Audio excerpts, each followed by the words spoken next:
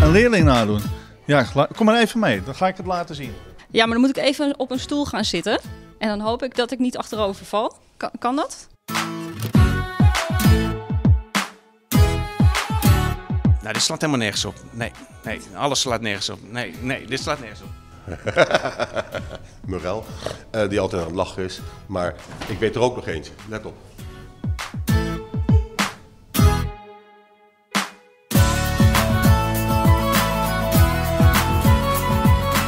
Met H5A heb ik een keer een eh, Implicit Racial Association test gedaan. De gezelligheid waarmee ze onderling samen bezig zijn, dat vond ik wel. En eh, dat en van een groot aantal, eh, ja, dat ze gewoon heel gericht bezig waren. Toen bleek eigenlijk dat een van de jongens met een kleurtje, Lionel, dat hij best wel racistisch was ingesteld. Dat was een verrassende, verrassende uitkomst. Daar hebben we met z'n allen hartelijk om gelachen. Het dieptepunt is dat er sommige lessen heel slecht gewerkt wordt. Hessel en Max, en die wilden echt helemaal niks zeggen in het Engels tijdens mijn les. Dus ik was heel benieuwd hoe het mondeling uiteindelijk zou gaan.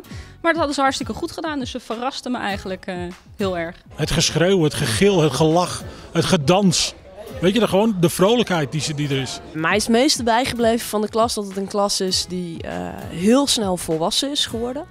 En dat ze heel goed waren om eh, in dingen voor elkaar te regelen. Het waren gewoon twee, drie hele mooie jaren met deze leerlingen. Ik ben eigenlijk heel erg blij met de resultaten. Want wij hebben ehm, eigenlijk het hele schooljaar natuurlijk gevolgd wat leerlingen doen. Jenti, ik mocht een keertje naar een voorstelling van haar kijken. Dat is een danseresje. Van de, nou zeg maar 80 leerlingen zijn er toch 78 geslaagd. En dat vind ik super leuk. Samen met mijn dochter ben ik er naartoe gegaan. Alleen na de show kreeg ik een boete van 95 euro voor verkeerd parkeren. Ehm nou, ik vond de vierde klas vond ik, eh, vond ik erg leuk, eh, vooral met practicum. Leerlingen die niks doen, leerlingen die keihard werken. Maar toch allemaal weer een voldoende weten te scoren. Dat er een hele goede werksfeer was dit jaar, vond ik in de vierde klas. En, eh, maar dat is in de eindresultaten ook te merken, dus ze hebben hard voor gewerkt. Het hoogtepunt is dat er toch wel meer geslaagd zijn dan ik gedacht had in september. Dat ze heel sociaal zijn naar elkaar toe. En ehm, dat ze uiteindelijk toch heel hard hebben gewerkt. Rezan en Ilias.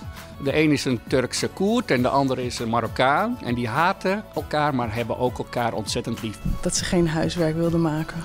De examenstress, toen het echt belangrijk werd. Dat ze eh, lief voor elkaar waren, aan elkaar dachten. En, ehm, en dat ze toch ook wel tijdens maatschappij hele goede vragen wil- wisten te stellen. Het hoogtepunt was eigenlijk dat ik ze voor het eerst eh, tegenkwam dit jaar. Ik wil eigenlijk een naam noemen van een leerling die dus eh, voor haar examen een 9,1 haalde. Het merendeel is ook geslaagd. En daarom ben ik ook zo trots op ze. Dat is Anneloes, daar was ik heel trots op. Dat het een rustige leerling is die altijd de werk in orde had. Vooral de les met MVC op maandag, 7 uur, dat vond ik echt een drama iedere week. Ze heeft van de vier MAVO-leerlingen bij geschiedenis het hoogste cijfer gehaald. Die les was echt slecht, iedere week. Deze jongens zijn voor een eindexamen zijn ze nog langs geweest s'avonds met nog alle extra vragen. Sanne bijvoorbeeld heeft een 9 gehaald. Ik bedoel, dat zijn echt topmeiden en dat onthoud ik altijd. Gideon heeft eh, van de alle examenleerlingen van geschiedenis het aller, aller, allerhoogste cijfer. Ik hoop dat jullie allemaal een eh, hele mooie toekomst eh, tegemoet gaan. eh goede opleiding hebben en uiteindelijk eh, ik jullie nog eens ergens tegenkom. May all your dreams come true. Ik hoop ze nog vaak terug te zien, zodat ze mij vertellen wat het allemaal inhoudt en dat ik er ook weer wat, wat van kan leren. Ik hoop dat dit een goede basis is geweest, dat ze goed geleerd hebben. Mijn HAVO 5-klas, dat die, die gaan nu doen waar ze zelf voor gekozen hebben. En ik wens jullie daar heel veel succes bij. Dat ze heel veel mooie, rijke ervaringen mogen opdoen eh, straks in de toekomst. En ik hoop natuurlijk dat ze altijd nog even een beetje aan ons denken. Ik wens jullie echt het allerbeste. Heel veel succes met jullie verdere leven. Ze gaan natuurlijk allemaal heel rijk worden en heel succesvol. Ik hoop dat ze in het volgende wijs eh, het ook zo goed blijven doen. En ik wens ze natuurlijk ontzettend veel erfolg. Ik wens jullie heel, heel, heel veel succes in je vervolgopleiding. Ehm, dat zal anders zijn dan wat je hier op school eh, hebt gedaan. En ik ehm, hoop dat jullie je weg vinden in de toekomst waar je dan eh, na de zomer een stap in gaat zetten. Ik geef ze Duits en erfolg is succes. Hey, jongens, ik ben blij met jullie. Gefeliciteerd en eh, succes met je leven. Laat af en toe nog wat van je horen. Eh, kom nog eens langs en heel, heel, heel veel succes.